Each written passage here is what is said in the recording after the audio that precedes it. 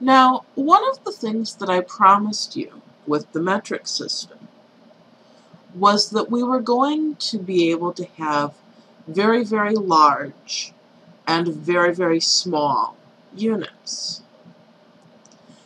The way that we get very, very large and very, very small units is by having prefixes that represent very, very large and very, very small powers of 10. The system of those prefixes, plus the metric units, is called the SI system. Now, SI does not stand for scientific, though it's usually used in science. SI stands for System International. Words coming in that order because it was originally a French standard. So what are the SI prefixes? Here's a list of some relatively commonly used SI prefixes, as well as the corresponding powers of 10. A couple of things to be aware of in this list. You'll notice that some letters appear twice, both as capital and as lowercase. Case matters. Make sure that you're using the letter that you mean. Notice that the prefix deca has a two-letter abbreviation. And the prefix micro has this weird symbol. We write it stroke up that goes below the line, little U shape, little tail that comes down. This is the Greek letter mu. So we read it as mu, like what the cat says. The Greek letter mu is the prefix for micro. Why is the prefix for micro a Greek letter? I really don't know. So all of these units here describe really big things or really small things. Some of these really big units, giga, mega, kilo, they might be familiar because we use them when we're talking about computers. Tera is actually becoming more and more common. I know every computer I've gotten in quite some time has had a terabyte hard drive. Now we use these in the same way that we use the everyday prefixes, but you'll notice that really, really big numbers turn up. Keeping that in mind, working with the SI prefixes is much, much easier if we just work in scientific notation. Let's see what we mean by that. Suppose I told you that the thickness of a human hair is about 80 micrometers. That is, micrometers. And I asked you to tell me, what is that in centimeters? In order to make that conversion, I would first write that number, 80, in scientific notation. The reason that I want to do that is that it's going to make all of the arithmetic that's coming up much easier. Now I'm going to use a two-step conversion. I have 8 times 10 to the 1 micrometers over 1 times. A conversion factor that's going to get rid of micrometers and bring in meters. Times. A conversion factor that's going to get rid of meters and bring in centimeters. Now the unit with the prefix always gets the number 1 and then the base unit gets the number that the prefix represents. So micro represents 10 to the negative 6, and centi represents 10 to the negative 2. So I'll have 8 times 10 to the 1 times 10 to the negative 6 over 10 to the negative 2.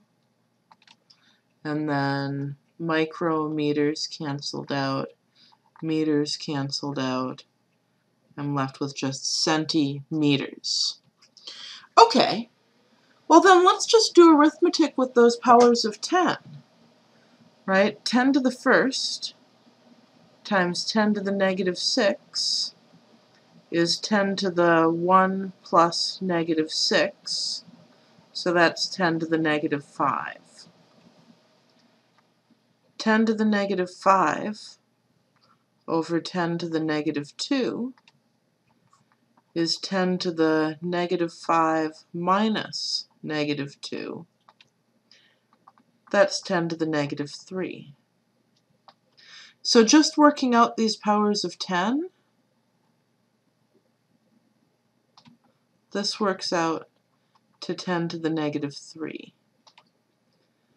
I'm left with 8 times 10 to the negative 3 centimeters.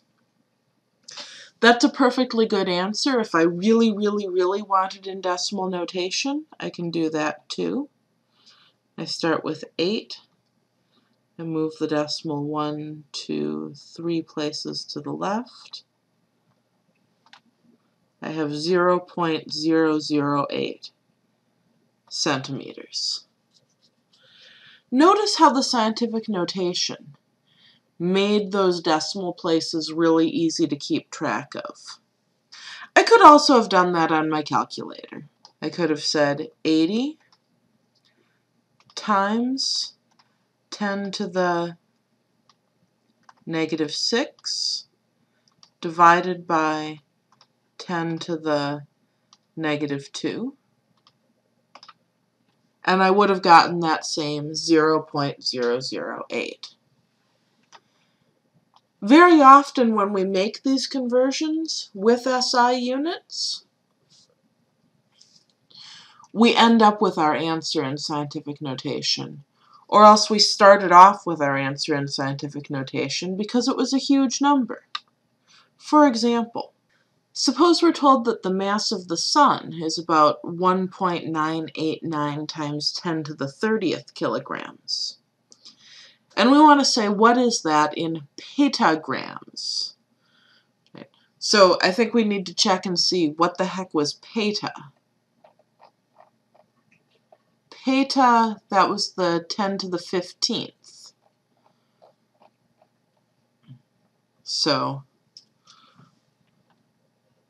1 petagram is 10 to the 15th grams. So we set up our conversion factors. We're starting with 1.989 times 10 to the 30th kilograms over 1. And then we'll have a conversion factor that'll cancel out kilograms and bring in grams. And then we'll have a conversion factor that'll cancel out grams and bring in petagrams. The unit with the prefix always gets 1, and then the base unit gets whatever the prefix represents. Kilo means 10 to the third, peta means 10 to the 15th.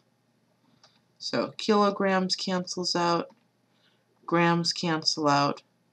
I'm left with petagrams, 1.989 times 10 to the 30th times 10 to the third over 10 to the 15th petagrams. So let's see. 10 to the 30th times 10 to the third is 10 to the 33rd, right? Adding together the exponents. 10 to the 33rd over 10 to the 15th is 10 to the 33 minus 15, that'll be 10 to the 18th. So I'll have 1.989 times 10 to the 18th petagrams.